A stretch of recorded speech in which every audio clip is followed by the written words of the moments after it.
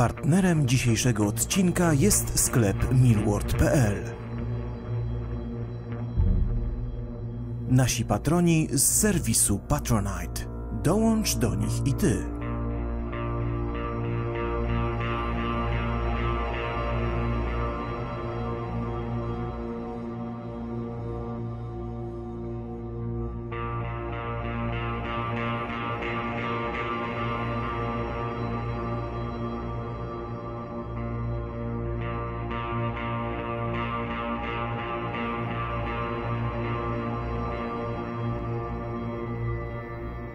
Cześć, witajcie. Z tej strony Project Explore. Witamy Was na kolejnej eksploracji. Dzisiaj będziemy zwiedzać opuszczony szpital. Jak możecie zobaczyć tutaj po pierwszym pomieszczeniu będzie on pełny wyposażenia. Także zapraszamy. W związku z tym, że cały szpital, a raczej prywatna klinika, był to jeden budynek podzielony na pięć kondygnacji, czyli poddasze, drugie piętro, pierwsze piętro, parter oraz piwnicę, dzisiejszą eksplorację zaczniemy od najwyższego piętra, czyli od poddasza. Okej, zaczynamy tutaj od górnego piętra. Prawdopodobnie ten film będzie podzielony chyba na dwa odcinki, bo tego materiału może być naprawdę dużo. Obiekt zapowiada się ogromny. No i jesteśmy tutaj na strychu w tym momencie. I na zewnątrz ile mamy? Z 15 stopni, świeżo po deszczu. Tutaj oczywiście jak zwykle paruwa. Jak No, już cali spoceni jesteśmy, 30 niestety. stopni. Na szczęście szybko stąd schodzimy, dzięki temu, że tutaj za dużo e, rzeczy nie ma, ale to dlatego, że zobaczycie piętro niżej, ta część budynku była przygotowywana pod remont, pod rozbudowę, ale o tym Wam powiemy konkretnie już piętro niżej. Tutaj nie wiem, czy ma sprzęt, jak robili remont dachu, to miałeś jeszcze takie strzywki do przypinania jakiejś tam, nie wiem, izolacji, papy. No taki duży strzywacz, nie? No, no, na Taki tej potężny zasadzie. naprawdę. On musiał mieć jakieś te, wiesz, długie strzywki, żeby przechodziły na 2-3 cm.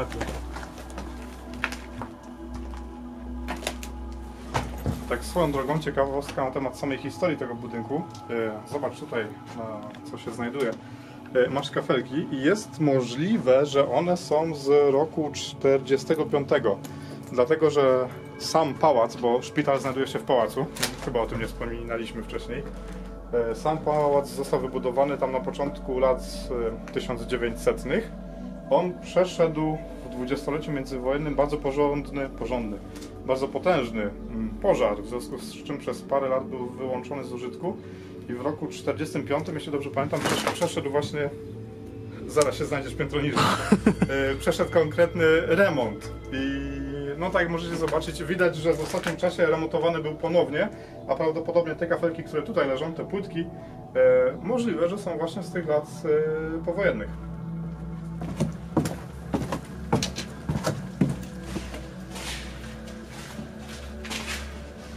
Jesteśmy w tym momencie na piętrze drugim tej kliniki i z tego co widzicie tutaj, może zobacz Tomasz w tym kierunku jak to wyglądało. E, Klinika na pewno była rozbudowywana. Ona swojego czasu prosperowała naprawdę bardzo świetnie. Jeżeli wejdziecie na przykład na strony internetowe z opiniami pacjentów, którzy byli tutaj operowani, nie ma ani jednej negatywnej. Wszystkie są bardzo, bardzo pozytywne. E, Klientów, pacjentów tutaj przybywało e, z roku na rok coraz więcej i były plany właśnie rozbudowy kliniki. W tym miejscu prawdopodobnie miały powstać mm, pokoje dla pacjentów po operacji. No niestety klinika upadła. O tym Wam powiemy chwilę później. A to, co po niej zostało na tym piętrze, to właśnie to, czyli niespełnione marzenie.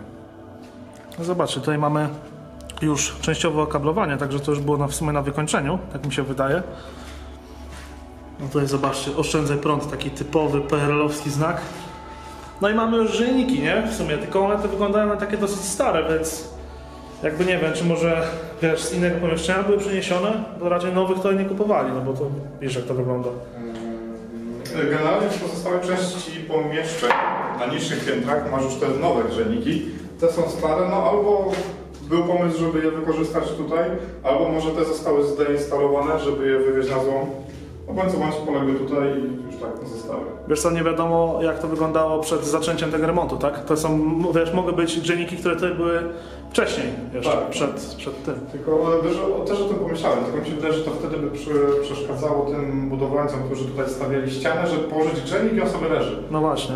Ale no kto wie, może mieli taki, taki zamysł. Co my tutaj mamy w ogóle? Aha, numer na te, chyba wieszaki na te klucze, no. I no właśnie, masz taką rozpiskę, jak to wyglądało, czyli piętro drugie, to na którym teraz jesteśmy, które jest w remoncie, już było poszykowane na pokoje, czyli masz właśnie numery poko numery, numerację pokoi.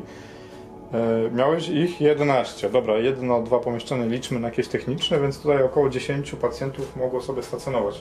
Piętro pierwsze, czyli to jest to, na które zaraz się udamy na dół. I co, jeszcze mamy ta pię- piętra pozostałe. I zobacz, że tutaj była jakaś sala wykładowa, była czytelnia. Na strychu byliśmy wcześniej. Tablice rozdzielcze, oświetlenie jakieś. No, ale najbardziej mnie ciekawi, czy znajdziemy właśnie salę wykładową i czytelnię. To, to tam bym chciał trafić. No, zobacz, tutaj coś takiego o twojej tematyce. No i znowu kolejny taki perelowski billboard. Nie rzuca niedopałków do kosza z papierem. I tu chyba coś jeszcze jest. A, to jest to samo. No zobacz, to jest jakiś takiej... Wiesz co chodzi, to jest ten taki plastik, taki ala karton pusty w środku. Dobra, a zobacz pod spód. Mm, tylko nie wiem, czy to... O, pajęczyna. Pajęczyny, no. A, tylko fragment został. Tutaj miałeś stary, jeszcze odręcznie rysowany Szkic plan, pomieszczeń. tak, plan budynku, albo szkic pomieszczeń. Wiesz co, mi się wydaje, że to mógł być szkic pomieszczeń tutaj właśnie tego, tego piętra, wiesz co chodzi. nie? Mhm. Jakoś tam Możliwe. rozplanowywali sobie, jak to tam ma wyglądać za jakiś czas. Szkoda, że nie zachowało się w całości, bo fajna, fajna robota, że to robo, było robione ręcznie. I mamy windę.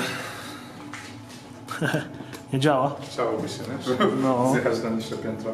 To tak ten, wiesz co, patrzyłem, czy ona może była zabezpieczona przed malowaniem, ale widzę, że nie. Więc winda... Zresztą winda funkcjonowała na pozostałych piętrach, eee, dlatego ona była na pewno zainstalowana wcześniej, zanim rozpoczęto tutaj remont. Okej, z tej części w remoncie przemieszczamy się do części, która była normalnie używana. I Tutaj mamy wejście do niej. Primu non nocere, tak pisze na wejściu. To jest w łacinie, nie? Chyba. W łacinie tak, masz po pierwsze nie szkodzić, no czyli ta maksyma e, medyków, lekarzy. Chociaż swoją drogą, e, gdzieś tam w świecie medycznym jest to przerabiane na primum non, non nocere, czyli po pierwsze nie w nocy, nie budzić personelu. A dobra, mamy tak, tutaj dwa pomieszczenia po bokach, może sobie wtedy do nich wejdziemy, potem się prze- przeniesiemy właśnie do tego, mm, do, do, do, do tych pokoi pacjentów. No dobrze, no to lecimy. Podróż.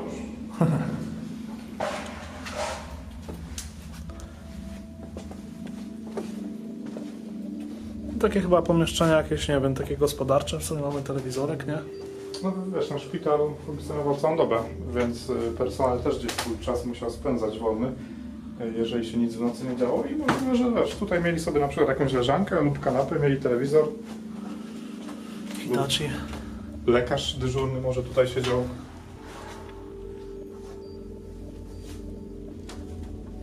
Przez chwilę myślałem, że tutaj światło świeci, a to świetlik jest w łazience. Ale zobacz, jak fajnie to jest zachowane. Tutaj w ogóle jeszcze nie było złomiarzy. To jest wszystko, totalnie wszystko. E, Widać wpływ czasu, czyli syf, ale no masz rację, nic tutaj jest... Znaczy, no wszystko jest, nic nie jest zabrane, że tak powiem. Mamy boiler jeszcze do podgrzewania wody. To też w sumie taka rzadkość już na urbexach. Tak samo jak koloryfer leci pierwszy. Mi się wydaje, że to tutaj mogłeś mieć pomieszczenie tego lekarza dyżurnego, bo zobacz, że masz dużo takich rzeczy technicznych. To jest gramofon czy, czy coś innego? Nie, to nie jest gramofon, ale... To jest rzutnik. Aha, rzutnik, no. Na kliszę, stary na kliszę rzutnik. Tutaj wkładałeś kliszę i rzutnik to projektował. Yy, Ale właśnie, bo tak byliśmy piętro wyżej, miałeś tam informacje o salkach wykładowych, salce wykładowej.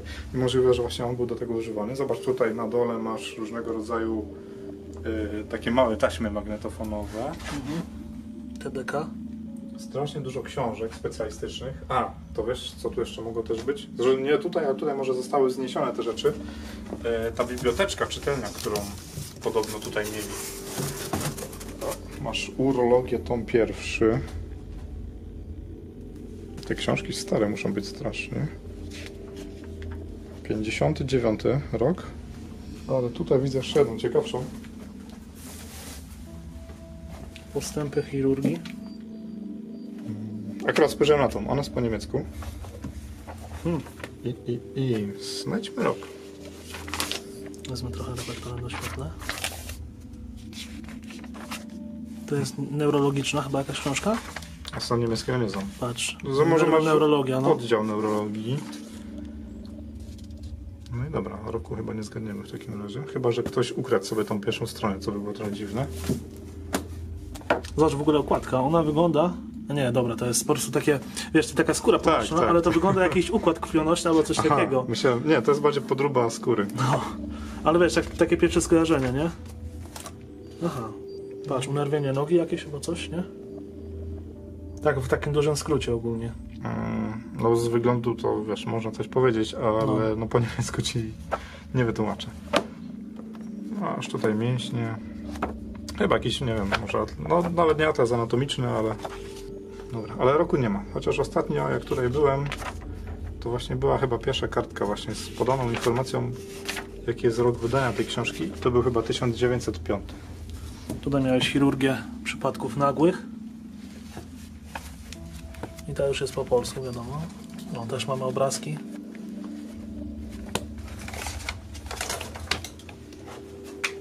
Dobra, swoją drogą taka ciekawostka na Urbexie. Wrócimy do tego rzutnika. Nie wiem, czy widziałeś, jakie on jest firmy. Kodaka. Kodaka. Odnośnie Kodaka jest fajna sprawa. Zresztą też fajna, może fajna, cie- ciekawa historia, jak powstała nazwa Kodak. Mm, Założyciel firmy i to był jeden z pierwszych aparatów produkowanych seryjnie dla ludu, jeżeli, że- jeżeli tak to można nazwać. Czyli każdy, kto posiadał tam parę dolarów, mógł sobie kupić jednorazowego użytku aparat, zrobić sobie zdjęcia, wysłać do firmy Kodak, ona wywoływała zdjęcia. Ale nazwa Kodak pochodzi powstała w ten sposób, że właściciel firmy któregoś razu spędzał noc u swojej matki, grali sobie w Scrabble i po prostu na tej płytce, gdzie masz poszczególne słówka, ułożyło mu się słowo Kodak, stwierdził, że to jest fajna, mocna, chwytliwa nazwa. Biorę to. No i poszło. Z przypadku mamy nazwę jednego z najbardziej rozpoznawalnych. Jeden z najbardziej rozpoznawalnych film, która tworzy właśnie Tak. jakieś tam urządzenia do, No, aparaty i cały rozprzęt. do obrazu, tak? Że tak powiem. No, no bo w sumie W skrócie. rzutniki też mają. Tak. Dobra, lecimy dalej. Dobra, wchodzimy do głównego korytarza z tym napisem Primum non nocere. No i tutaj zaczyna się tak naprawdę właściwy szpital. Y, To piętro, w którym teraz się znajdujemy, to już było typowe piętro pokoi pooperacyjnych, może takiej rekonwalescencji, dochodzenia do siebie pacjentów po samej operacji. Operacje miały miejsce piętro niżej, bo tam mamy sale operacyjne. Tam też mamy sale pooperacyjne, czyli ten dozór 24 godziny pacjenta, który jest świeżo po zabiegu. Tutaj właśnie pacjenci, którzy płacili za, e, za usługę różnego rodzaju chirurgiczną, może tak bym to, to nazwał. E, Tutaj właśnie spędzali swój wolny czas, tydzień, dwa, w zależności od wagi danego e, zabiegu. Nie wiem, może sobie zerkniemy. Tutaj było chyba też 10, mm, 10 pokoi dla pacjentów. Może sobie zerkniemy do kilku z nich, bo na pewno część się powtarza. Ale z tego co widzę, tutaj już mamy fajne wyposażenie.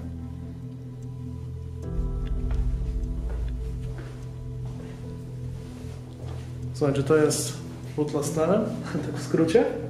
To, no, że tak, tu masz stojak do butli z tlenem.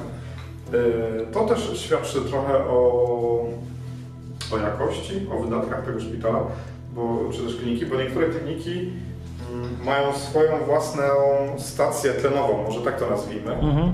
Dobra, jak jesteś zainteresowany tym, to, to od razu wypróbujmy, czy to jeszcze działa.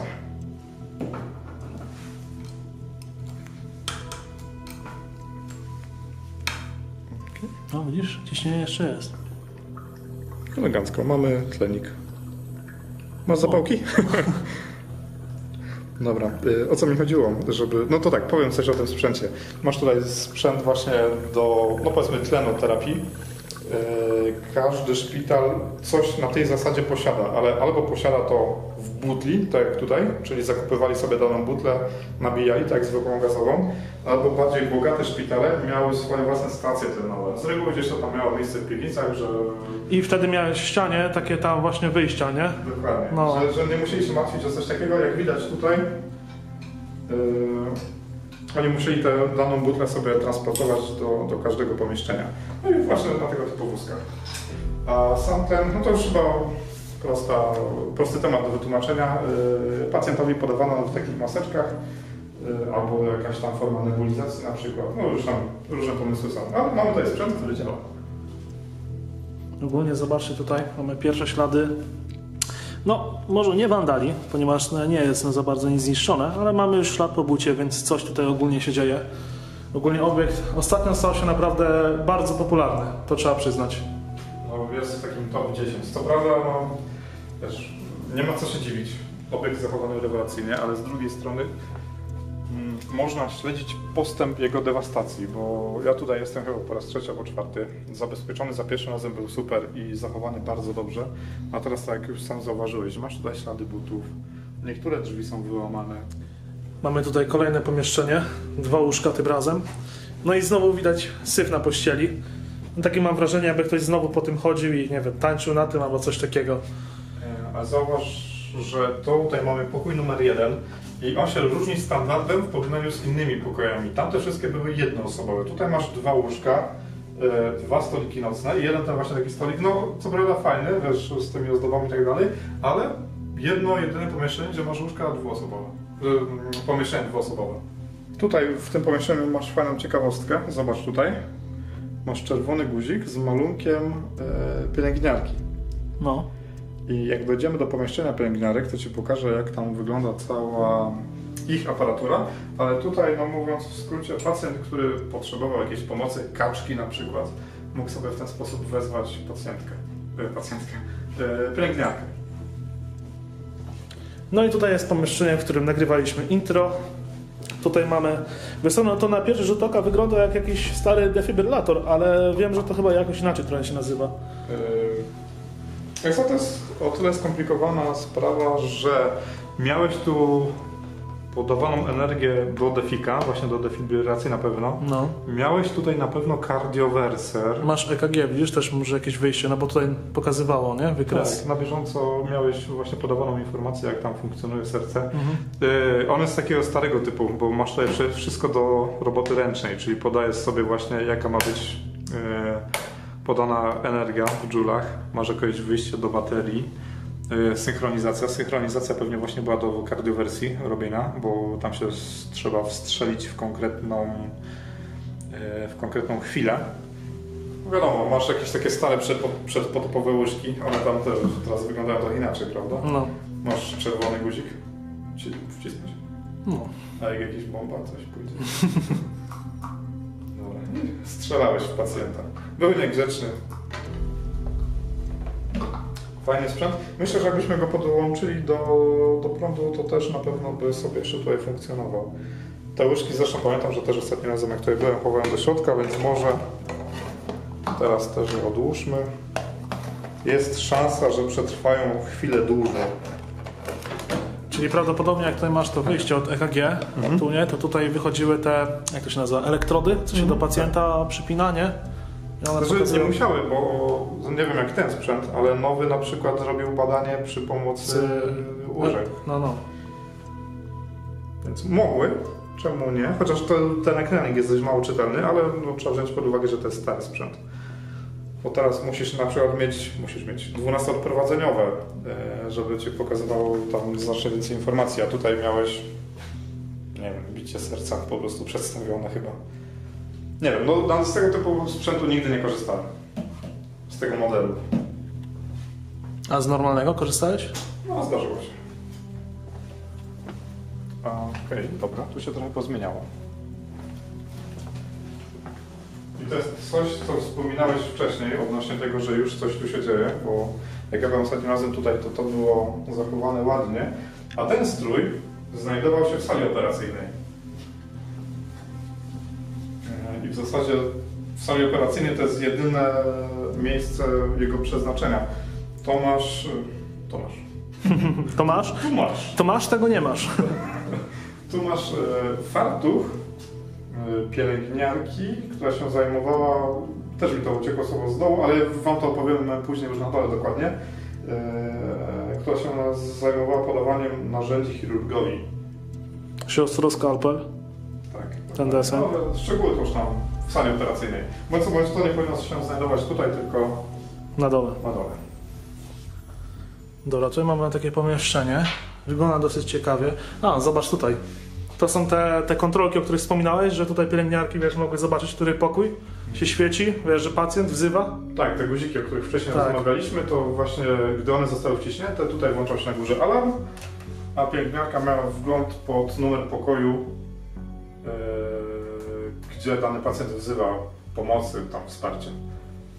No i tutaj co? Tutaj chyba to wygląda jak powiedzmy, nie wiem, y, taka szafka na karty pacjenta lub coś takiego. E, Albo na przykład jakiś wykaz czynności, które z, trzeba zrobić z pacjentem.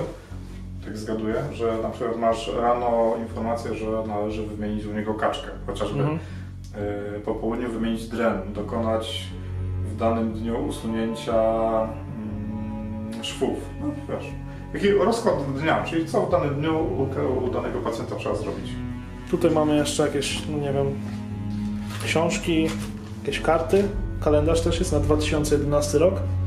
No i tutaj ten monitor mnie zastanawia, bo nie ma tutaj żadnej klawiatury, ani też jednostki centralnej, tylko sam monitor, nie? No, może była i gdzieś już przenieśli, albo się okaże, że tu jest schowana. Może z tyłu była albo coś. No ciężko powiedzieć. Za tobą są fajne rzeczy, co, że fajne rzeczy. Yy, Coś, co też świadczy właśnie, że to był pokój pielęgniarek. Yy, Miałeś tutaj jedno piętro.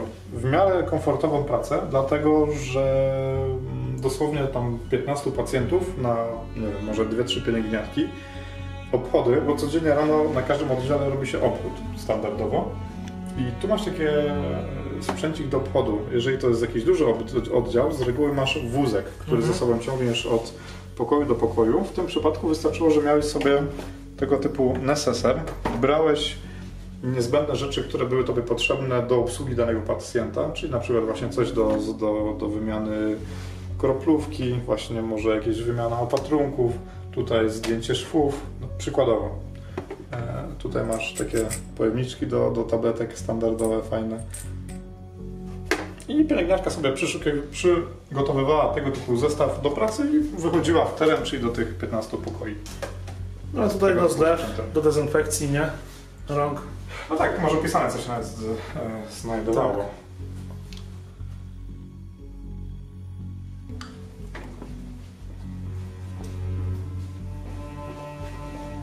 No to wygląda jak taki mały gabinet zabiegowy. E, Wiesz co, to jest raczej tam, w tamtym pomieszczeniu obok, miałeś te rzeczy powiedzmy czyste, jałowe, że nie wymagały żadnego jakiegoś tam większego mycia. Zobacz tutaj, że masz e, no kaczki, czyli no wiesz do czego służą kaczki, chyba wszyscy wiecie. No, wiem.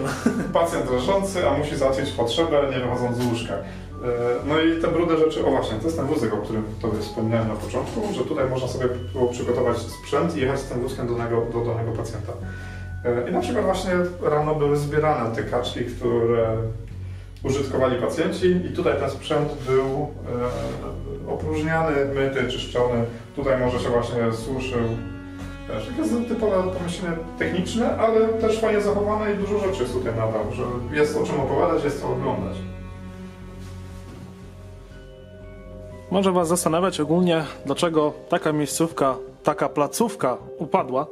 No historia jest taka, że no nie chcę tutaj za bardzo pokazywać tego, bo widać twarze, ale tutaj mamy takiego pana w białym, w białym fartuchu i to był właściciel, jeden tutaj z lekarzy. No i do czasu, kiedy ten pan żył, no ten obiekt tutaj sobie bardzo dobrze funkcjonował i prosperował, no ale niestety, gdy zmarł, nie pozostawił po sobie jakby żadnego następcy na powiedzmy przywództwo tutaj w tym, tym szpitalu. No i niestety z czasem e, obiekt podupadł. No i tutaj mamy właśnie podziękowania dla niego. No tutaj mogły być też jakieś dyplomy i, i na takie właśnie laurki. Bym pokazał właśnie bliżej to zdjęcie, ale niestety widać twarze. Ale nie chcę blurować, bo to w sumie bez sensu. Tak czy siak no, mamy tutaj e, parę osób, parę pacjentów plus ten właśnie pan. Także my idziemy dalej. No tutaj mamy gabinet zabiegowy. Tak przynajmniej wygląda po tabliczce. Magazynek medyczny? Oj, patrz, noszę masz też. Tak, właśnie i to taki stary, stary model drewniany jeszcze. Z nazwy TNTK trochę takie były, nie? Były Tak, takie. w różnych miejscach. To takie wiesz, generalnie gdzie funkcjonowała obrona cywilna, to na pewno takie coś było. No właśnie, czyli to mógł być w sumie magazyn obrony cywilnej też. Chociaż to mógł być w sumie magazyn wszystkiego, tak? Tutaj tak. Widzisz, tu masz jakieś e, sprzątające jakieś rzeczy. Bardziej mnie interesuje to te, czyli ten właśnie gabinecik zabiegowy. No, to już się zaczyna naprawdę ciekawie. Taka pojedyncza lampa z niebieskimi kloszami. No, ona musiała dawać, bo no. będzie światło. A, jest na takim wysięgniku.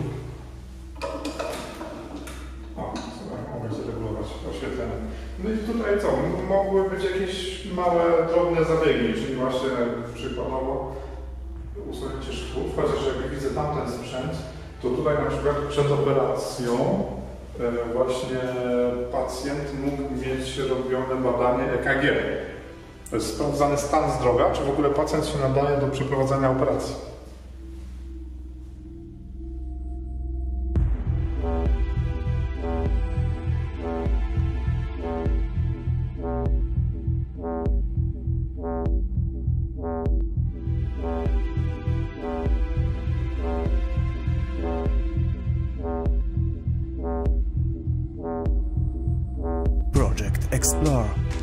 Tomasz i Jan.